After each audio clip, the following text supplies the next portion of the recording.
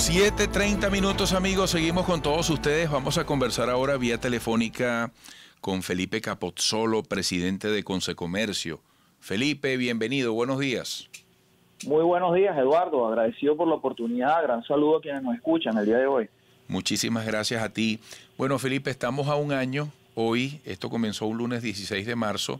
Pareciera que estamos como no sé cómo lo calificas tú, pero un, nuevo inicio, una nueva etapa, nuevos desafíos con esto de la variante brasileña.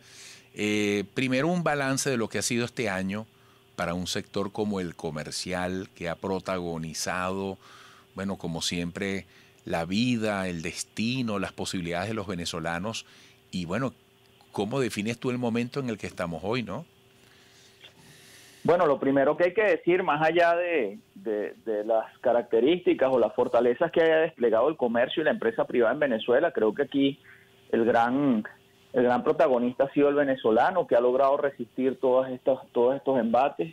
La gente, la gente a pie, pues la gente de sencilla de Venezuela, que, después de tantos problemas, después de una situación de recesión tan prolongada, después de una, de una situación de hiperinflación tan prolongada, que se ha llevado, mira, lo poco mucho que pueda tener todo venezolano, que ha confiscado el salario, que ha confiscado la, la, la, propiedad desde todo punto de vista en términos de valor, bueno, la gente sigue ahí, quiere salir todos los días a trabajar, quiere salir todos los días a, a buscarse la vida y seguir adelante y tiene, tiene la esperanza tiene la esperanza de que, de que más temprano que tarde pues podamos recuperar un espacio donde cada quien pueda, pueda desarrollarse y buscar un poco más de sosiego ante, porque realmente la situación es complicada, no solamente desde el punto de vista económico, la, la salud, ya, ya las noticias son, son, son bastante difundidas, está también la, la situación psicológica de la gente, eh, realmente eh, es una prueba de resistencia, pero la gente al final todos los venezolanos en general queremos, queremos volver a confiar, queremos, queremos volver a, recuperar nuestra capacidad de elegir y, dictaminar nuestro destino. Queremos al final que, todos los problemas se resuelvan, no solamente los derivados con la pandemia, sino los derivados de la economía, que son a veces hasta peores que, la pandemia. Eh, que todo se resuelva en paz y que, y que las, eh, podamos encontrar solución a nuestros problemas cotidianos en salud lógicamente. Ese es, ese es el principal deseo que tiene en mente eh, todo venezolano, estar en salud para poder resolver todas esas, todas esas cosas. Al respecto del comercio, bueno, resistiendo, resistiendo. Los grandes perdedores de, esta, de esta pandemia son los vendedores minoristas, el, el, retail. Es una estadística que no solamente se comprueba en Venezuela, sino en toda Latinoamérica y el Caribe. Y, muy lamentablemente para un país como Venezuela también la gran perdedora del proceso de pandemia es la mujer, la mujer emprendedora, sostén de familia, que, lucha, que, que, ha podido avanzar tal vez en sus reivindicaciones en los últimos años, pero bueno, esto nuevamente vamos hacia atrás. Y espero, espero realmente que como pueblo unido podamos entonces preparar la embestida hacia adelante, pues, podamos preparar el salto, el rebote con toda la con toda la fuerza porque realmente nos los merecemos, ¿no? Nos merecemos un, destino mejor.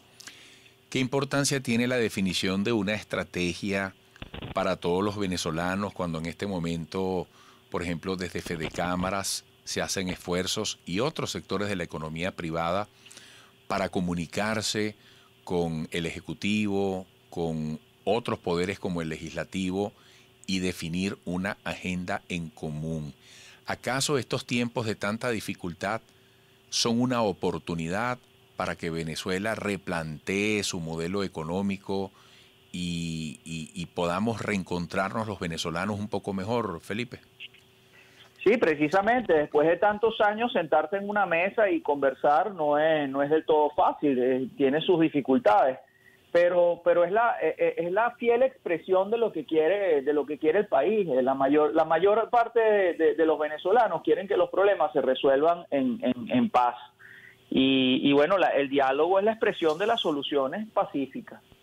Entonces allí eh, más que ver al diálogo como un fin en sí mismo, hay que verlo como un camino, como una nueva política para el país, como, como un nuevo proceso que tenemos que empezar a vivir eh, y, tiene que crearse el espacio del entendimiento. Para, para el empresariado el diálogo va a ser, eh, va a ser una gran ventana, una gran oportunidad para, para desarrollar un, mensaje de cercanía, de cercanía eh, frente a la, a la, población, de cercanía frente, frente a la gente, eh, tratar de superar un poco la, la, visión instrumental o la visión utilitaria que se ha tenido hasta ahora y demostrarle a la gente, bueno, que estamos allí a su lado, que, que también somos gente, que también padecemos, que estamos, estamos realmente por los intereses del país. Desde el punto de vista del gobierno, bueno, es la oportunidad para perfeccionar un lenguaje de, un lenguaje de confianza, unos mensajes de confianza y perfeccionar un idioma de entendimiento con un interlocutor con el cual, bueno, tradicionalmente no, no había podido entenderse.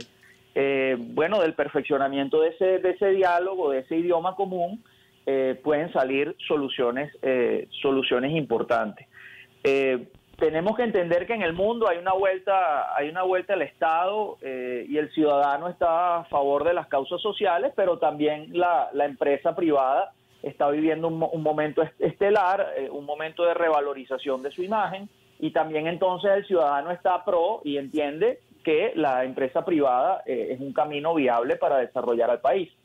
Eh, bueno, de la confluencia público y privada pueden salir soluciones con mucha fortaleza para realmente impulsar a Venezuela al frente, impulsar a Venezuela hacia adelante y buscar un camino de prosperidad. Todos los venezolanos están claros en que quieren prosperidad. Las dificultades vienen, bueno, cuando tenemos que ponernos de acuerdo en cuál es el camino hacia la eh, prosperidad.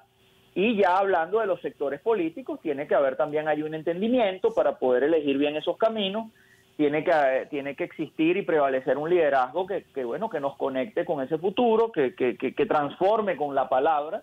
Eh, nosotros vamos a ir construyendo el entorno, en, nuestro entorno en Venezuela y nuestra realidad principalmente con la palabra, con los mensajes positivos, eh, con todo el repertorio lingüístico que podamos tener, hay que hacerlo realidad y materializarlo de manera positiva siempre.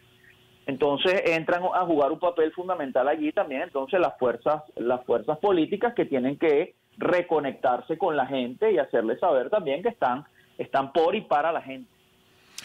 Bueno, Felipe, gracias por estos minutos. Hoy cuando se cumple un año del inicio de la cuarentena en Venezuela, sabemos que siempre estás dispuesto y tienes un mensaje para ir compartiendo tus impresiones además como presidente de Consecomercio. Mucho éxito, un fuerte abrazo. Muchísimas gracias, Eduardo. Antes de amanecer siempre está más oscuro. Estamos ya cercanos al amanecer para reconstruir nuestro país. Vamos todos juntos por eso. Qué bueno, qué bueno. Bueno, vamos a seguir confiando en ese amanecer, cada uno poniendo la parte que le toca con mucho esfuerzo. Felipe Capozzolo, presidente de Consecomercio. A la vuelta seguiremos.